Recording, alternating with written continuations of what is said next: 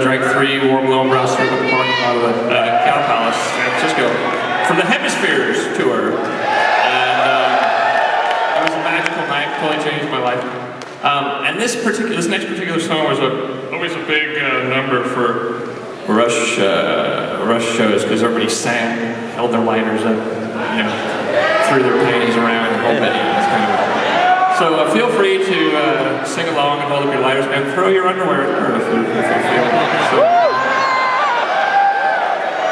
Just like Alex Lifeson, he's the good-looking one.